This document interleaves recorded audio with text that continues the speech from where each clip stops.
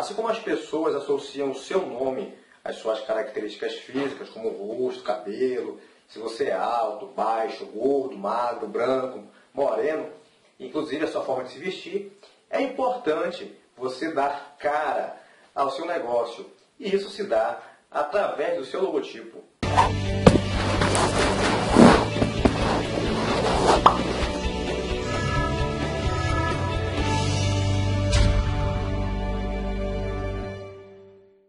Também chamado de logomarca, ou apenas logo, ou então logo, o logotipo é um desenho, um símbolo que procura sintetizar o propósito do seu negócio.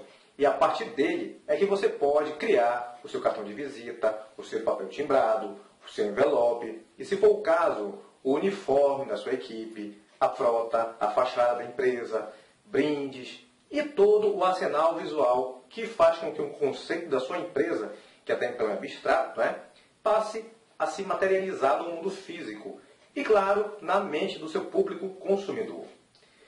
Um erro muito comum praticado por quem está começando é usar fotos, muitas vezes extraídas da internet, e enfeitar com um monte de efeitos, de cores, degradês, o que, dependendo do caso, pode não só dificultar, como encarecer a impressão em determinados objetos, principalmente aqueles que são feitos a partir do processo de serigrafia, como camisas, alguns, alguns brindes especiais, tá?